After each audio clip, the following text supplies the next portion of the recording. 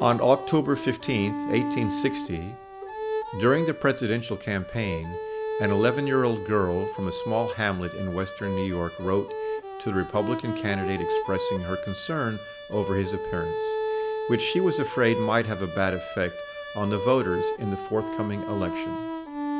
The campaign photographs of Lincoln were a disappointment to her. She suggested that his appearance would be improved if he wore whiskers. Thus, the image by which several generations have known the emancipator was sculptured in a child's mind. When he went east to Washington in February, Lincoln's train stopped at Westfield between Erie and Buffalo. When Lincoln appeared to speak a few words to the assembled people, the whiskers already were in evidence. He asked if his little correspondent, Grace Bedell, were present. She was. He asked her to come forward and then placed a fatherly kiss on her cheek.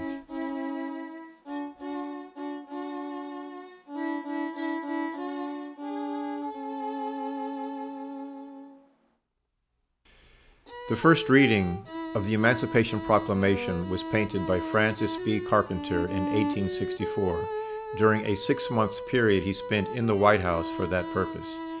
It portrays the scene at the moment Lincoln has finished reading to his assembled cabinet members the draft of his proposed Emancipation Proclamation. Each of the personages represented in the painting sat for his portrait, and all the furniture and various objects were sketched and painted from the originals.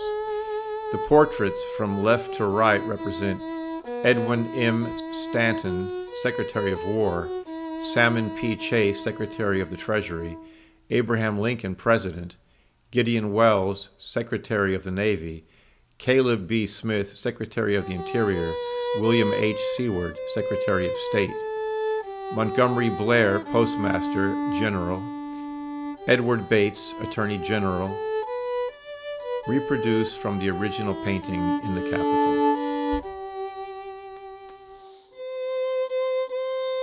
Lincoln's last photograph. It was taken by Alexander Gardner April 10, 1865, the very day that Lee surrendered his army to Grant at Appomattox Courthouse, and six days before Lincoln's death. Four negatives of Lincoln were made by Gardner at this last sitting.